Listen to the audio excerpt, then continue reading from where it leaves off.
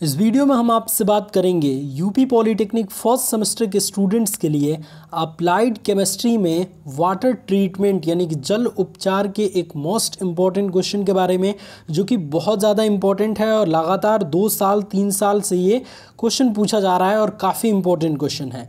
इसलिए इस क्वेश्चन को अच्छे से समझिएगा और देखिए, केमिस्ट्री पढ़ने का एक सबसे बेस्ट तरीका ये है कि बिल्कुल टेंशन ना लीजिए। भाई देखिए बहुत कमज़ोर से कमज़ोर छात्र इस सब्जेक्ट में जब पास हो जाते हैं तो फिर आप तो बहुत होशियार हैं। फिर आप क्यों टेंशन लेते हैं?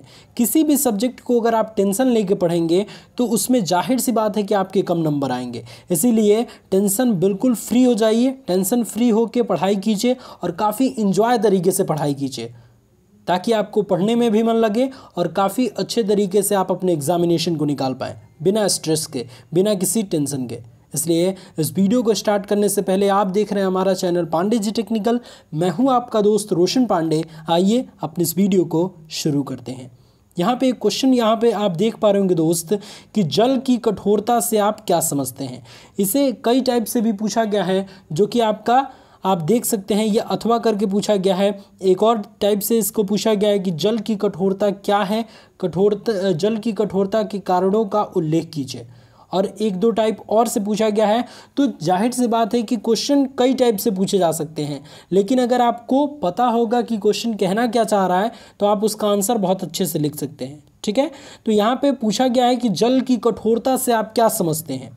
What do you mean by hardness of water जल की कठोरता क्या है और इसके कारणों का उल्लेख करना है, कि इसके क्या क्या कारण होते हैं। तो यहाँ पे सबसे पहले हम जानते हैं कि जल की कठोरता क्या है। तो देखिए, जल जल का जब हम साबुन के साथ जब जल को साबुन के साथ मिक्स करते हैं तो जब कम और कठिनता से झाग देता है तो इस गुण को जल की कठोरता कहते हैं। यानी कि जल के साबुन के साथ कम और कठिनता से झाग देने के गुण को जल की कठोरता कहते हैं। जल में कठोरता क्या होती है? कैल्शियम और मैग्नीशियम या फिर दोनों के बाइकार्बोनेट्स या क्लोराइड या सल्फेट के घुले होने के कारण होती है। ये काफ़ी इंपॉर्टेंट पॉइंट्स हैं कि जल की कठोरता कैल्शियम और मैग्नीशियम सी और एम ठीक है? इसे ध्यान में रखिएगा, कैल्शियम और मैग्नीशियम या दोनों के, यानी कि कैल्शियम के भी और मैग्नीशियम के भी, बाइकार्बोनेट, क्लोराइड और सल्फेट घुले होने के कारण होती है, जल में कठोरता, ठीक है? तो इसे आप ध्यान में रखेंगे, काफ़ी इंपॉर्टेंट ये पॉइंट था। ठीक है? अब जल की कठोरता मुख्य रूप से दो प्रकार की होती है। नंबर वन अस्थाई कठोरता और नंबर टू स्थायी कठोरता। अब अस्थाई कठोरता स्थायी कठोरता क्या है?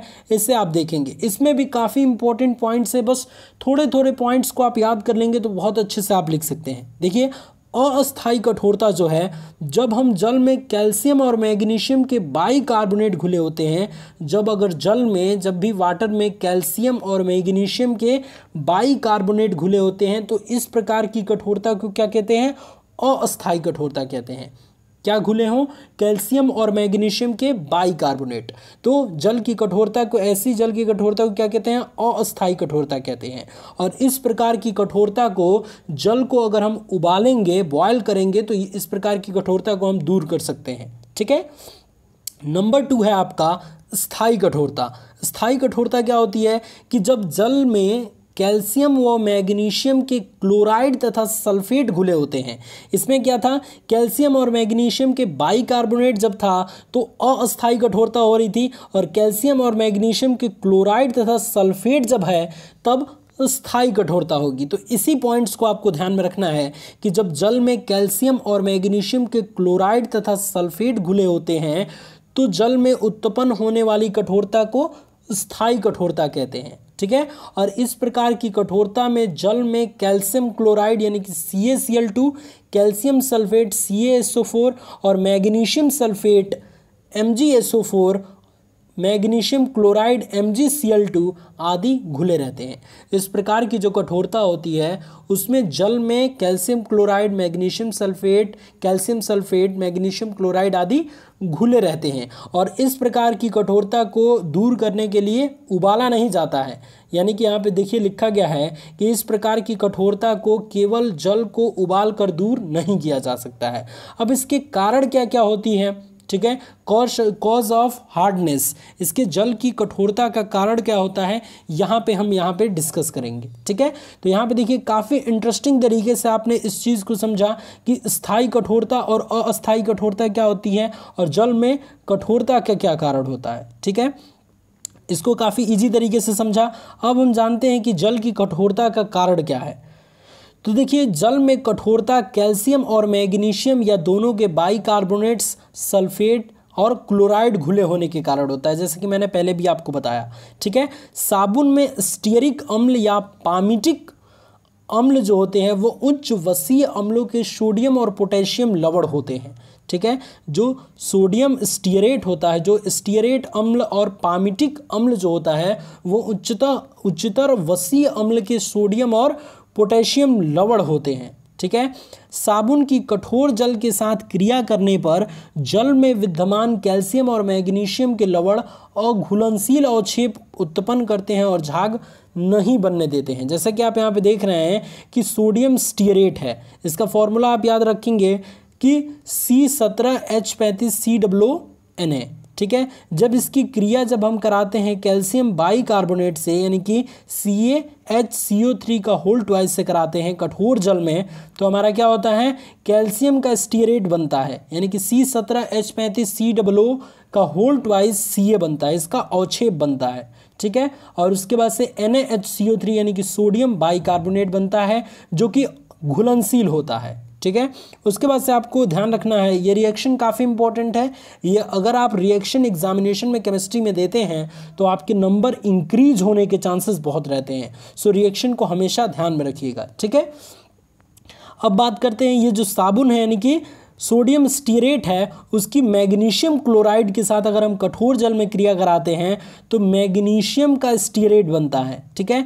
जैसे कि आप जानते हैं, यहाँ पे लिखा है सी सत्रह एच पैंतीस सी डब्ल्यू का होल टॉइज एम जी तो इसका अवक्षेप बनता है और एन हमारा एक जो है वो प्रोडक्ट के रूप में निकलता है एन जो कि विलय रहता है, ठीक है? घुलनशील रहता है। तो इस प्रकार यह क्रिया तब तक चलती रहती है जब कैल्शियम और मैग्नीशियम के जो लवण हैं वो पूर्णतया अवक्षिप्त न हो जाए, यानी कि पूर्ण पूर्ण रूप से अवक्षेपित न हो जाए, ठीक है? इसके तुरंत पश्चात झाग बनने लगता है। तो ये पूरी प्रोसेस है, जल की कठोरता का कारण क्या है? जल की कठोरता क्या है?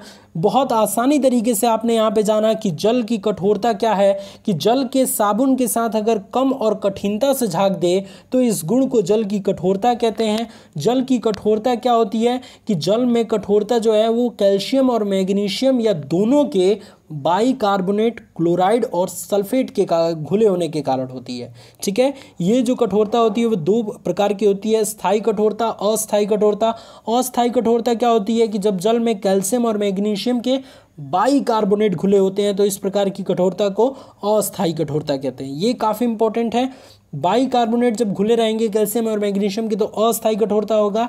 और कैल्शियम और मैग्नी, मैग्नीशियम के क्लोराइड और सल्फेट घुले होंगे तो वो स्थायी कठोरता होगा। तो काफ़ी इंपॉर्टेंट क्वेश्चन है। ये लगातार जो है वो एक और टाइप का यहाँ पे क्वेश्चन अथवा करके दिया था, लेकिन ये इस पीडीएफ में नहीं आ पाया। इसके लिए सॉरी लेकिन ये तीन चार टाइप से आपका पूछा गया है आप अपने क्वेश्चन बैंक में देखेंगे या फिर बुक में देखेंगे तो आपको पता चल जाएगा ठीक है? जो कि 2013, 2014, 2015 में पूछा गया तो वेरी वेरी इंपॉर्टेंट क्वेश्चन है ये। इस टाइप के क्वेश्चन आप हमेशा ध्यान में रखिएगा और जितने भी हम अपने चैनल पर क्वेश्चन बताएँगे उन क्वेश्चन को स्पेशली ध्यान में रखिएगा क्योंकि वो क्वेश्चन आपके लिए वेरी वेरी इंपॉर्टेंट है।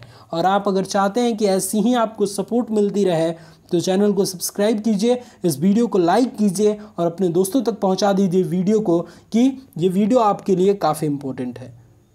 इस वीडियो को देखने के लिए बहुत बहुत धन्यवाद। इस वीडियो को शेयर ज़रूर कीजिएगा। जय हिंद, जय भारत।